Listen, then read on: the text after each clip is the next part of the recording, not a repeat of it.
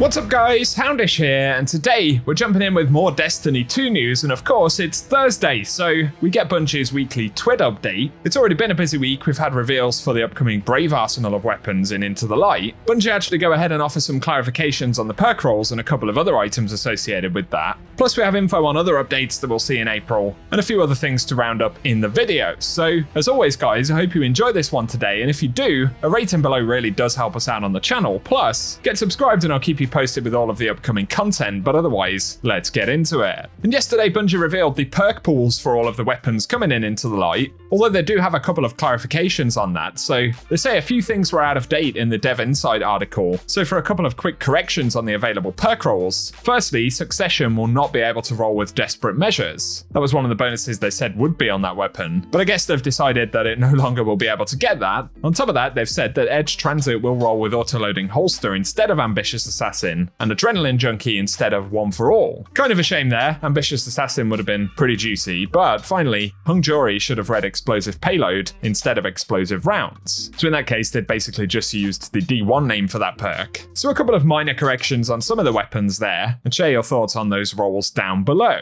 A couple of other things to mention before we get into Twid things though, and related to the weapons for Into the Light, Chris Proctor recently spoke on a podcast and gave a couple more insights, and he said, talking about enhanceable perks on randomly rolled weapons. The while players will be able to enhance the perks on the upcoming Into the Light, Prophecy Dungeon, and playlist weapons. This feature will only be available for perks in the column 3 and 4, and they point out that players won't be able to customize barrel, magazine, or masterworks on these weapons. And Chris Proctor also said that only the limited edition variants of Into the Light weapons can get an extra perk in column 3 and 4, but that players will be able to enhance all four of these perks in the last two columns when the final shape drops. So that's a positive. Of course, separately, there's been a lot of feedback feedback about Bungie time gating the release of the Into the Light weapons, or more specifically, the limited edition variants of them, which will roll out over a number of weeks. There's been a lot of feedback about it, so it's possible that Bungie will have further updates on that subject. We'll have to wait and see. But also in the recent podcast, Chris Proctor confirmed that weapons like Chroma Rush, Dustrock Blues, and Trophy Hunter, as well as a bunch of other items, were considered to return as part of Into the Light, but they had to go through a painful process of selecting exactly which weapons would be brought back. And there were a total of 40 weapons on the list, but they had to figure out how many they could reasonably make, and it ended up being 12, which is a surprisingly small number. But of course, they are relatively impactful weapons looking at Destiny's history. So, some interesting insights there, and I'll link the blog covering the recent podcast down below.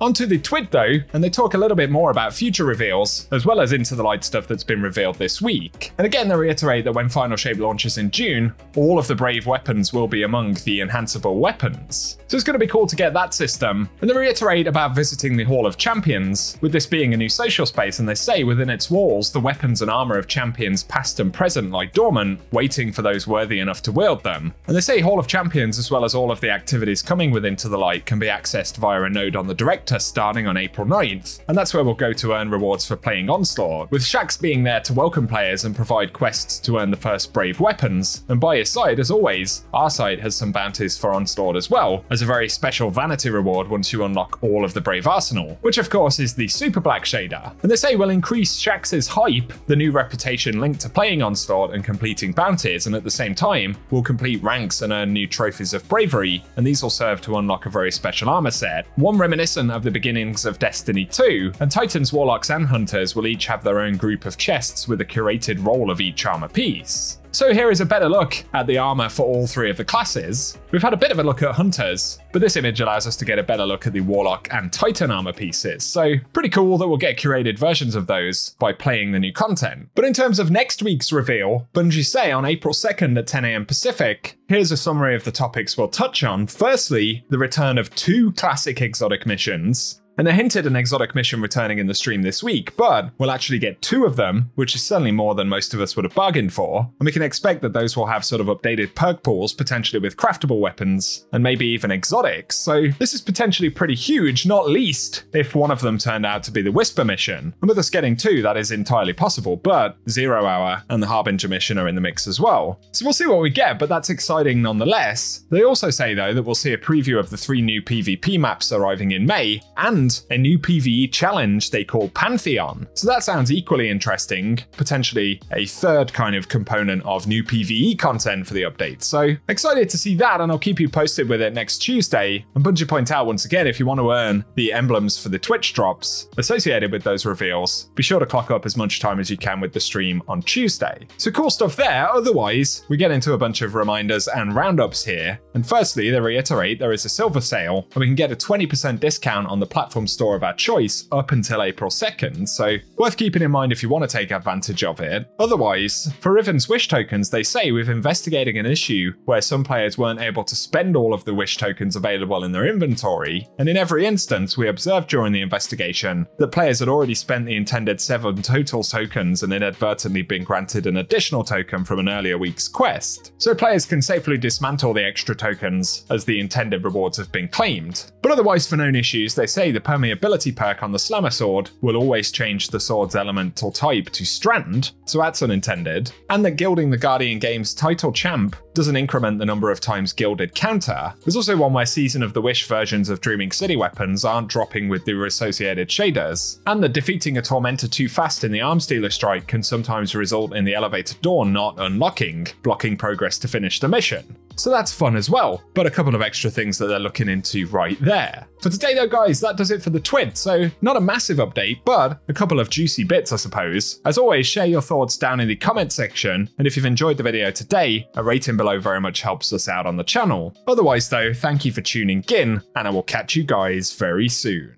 Uh, asks, can you take the limited edition ornament off and put it on another copy of the weapon, or is it just on that one weapon?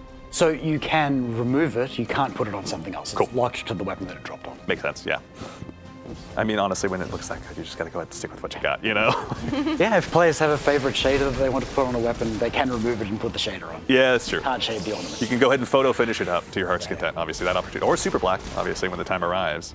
I've just been hopping around with all the weapons here. Now I've got Blast Furnace and Elsie's rifle on. I I know double primary isn't always meta, but We're gonna make it meta for the sake of they're both pretty, pretty, sector. pretty solid weapons. For the purposes of illustration. now here's that new perk that you both were talking about last stand on. Again, reminder, this Blast name will be changing in, in the live version. Yep.